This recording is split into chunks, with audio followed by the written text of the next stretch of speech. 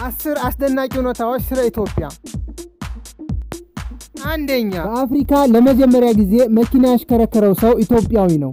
እንደ አውሮፓውያን አቆጣጠር በ1907 መኪና ያሽከረከሩ የመጀመሪያው አፍሪካዊ የኢትዮጵያ ንጉሥ ዳግማዊ አፄ ምኒልክ ነበሩ።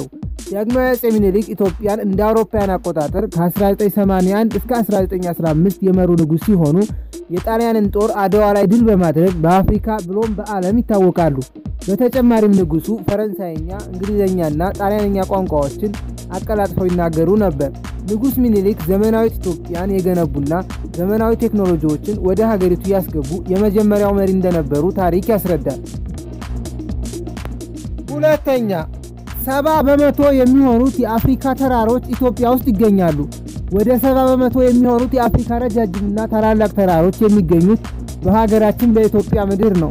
የኢትዮጵያ ተራሮች አቀማመጥ ዝም ብሎ ገደላማ ብቻ ሳይሆን እጅግ የሚያምር እጹብ ድንቅ የሆነ ቀልብን የሚስብ መንፈስን የሚያድስ አቀማመጥ አላቸው።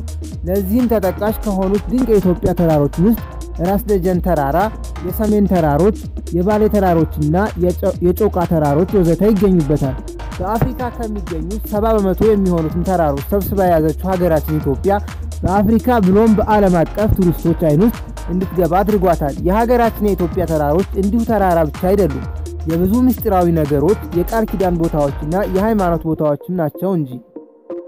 ሶስተኛ ቡና ለመጀመሪያ ጊዜ የተገኘው ኢትዮጵያ ውስጥ ነው። ቡና ለመጀመሪያ ጊዜ የተገኘው ከዛሬ አንድ ሺህ ዓመት በፊት በደቡብ ምዕራብ ኢትዮጵያ ከፋ ምድር ነበር።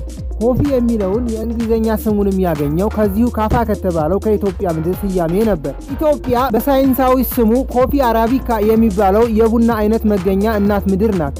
የኢትዮጵያ ቡና በጣዕሙ፣ በጠረኑ እንዲሁም በአይነቱ እጅግ ለየት ያለ የቡና አይነት ነው።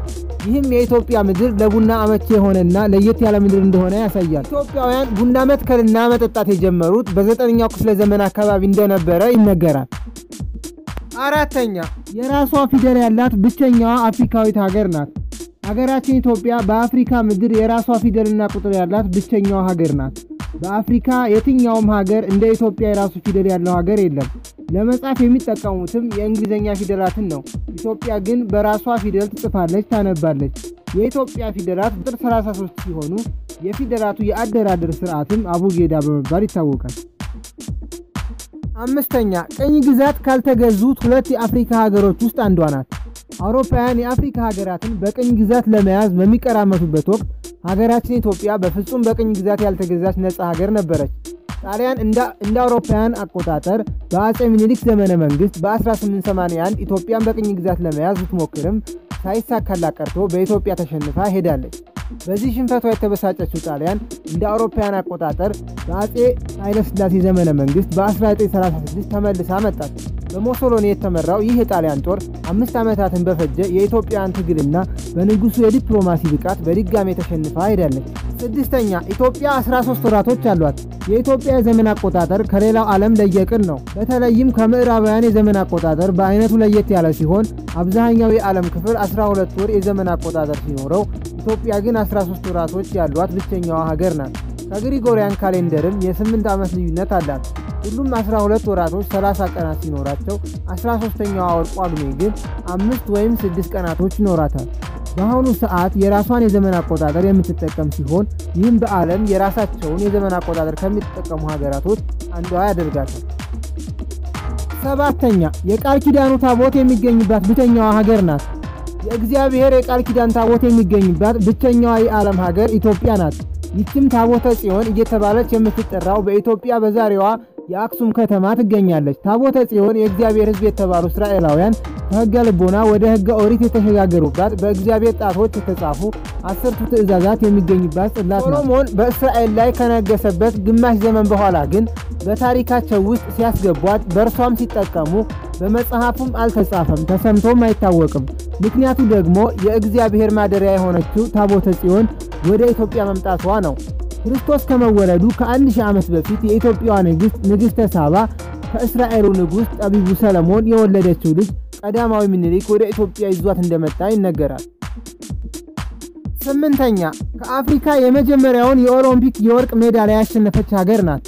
ኢትዮጵያ በኦሎምፒክ ታሪክ የወርቅ ሜዳሊያ ያገኘች የመጀመሪያዋ የአፍሪካ ሀገር ናት። እንደ አውሮፓውያን አቆጣጠር በ1960 በሮም ኦሎምፒክ ኢትዮጵያን ወክሎ የተወዳደረው ጀግናው አትሌት አበበ ቢቂላ በሮም አደባባዮች በባዶ እግሮቹ ሮጦ በአፍሪካ የመጀመሪያ የሆነውን የኦሎምፒክ የወርቅ ሜዳሊያ አሸንፏል። የሮም ኦሎምፒክ ሻምበል አበበ ቢቂላን በድፍን አፍሪካ የመጀመሪያው የኦሎምፒክ የወርቅ ሜዳሊያ አሸናፊ እንዲሁም በዓለም አቀፍ ደረጃ ደግሞ በባዶ እግሩ ሮጦ ታሪክ የሰራ ብቸኛ አትሌት ያደርገዋል። ዘጠነኛ በአፍሪካ ጥንታዊና ነፃ ሉዓላዊ ሀገር ናት። ኢትዮጵያ በዓለም ጥንታዊና ረጅም ዘመን ያስቆጠረች ነፃ ሀገር እንደሆነች የታሪክ መዛግብት ያስረዳሉ።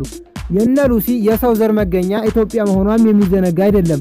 ብዙ የታሪክ ጸሐፊዎች እንደሚሉት ኢትዮጵያ እንደ ሀገር የቆመችው በ980 ቅድመ ልደተ ክርስቶስ አካባቢ ነው። ለዚህም ማስረጃ ይሆን ዘንድ የነ ዳማት፣ ሁንት እንዲሁም የአክሱም ዘመነ መንግስታትን መጥቀስ በቂ ነው።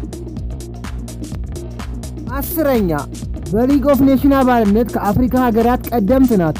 የአፍሪካን አንድነት ድርጅትን በመመስረት የመጀመሪያዋ ናት።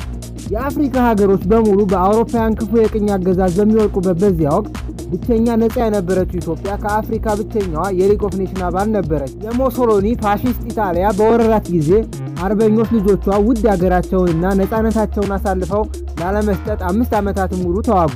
ንጉሠ ነገሥታቸውም የዚህን የግፍ ወረራ ለማጋለጥ በዓለም መንግስታት ማህበር መድረክ ላይ ሲቀርቡ ከአፍሪካ አህጉር ብቸኛዋ አባል ኢትዮጵያ ማንም አጋዥ ሀገር አልነበራትም።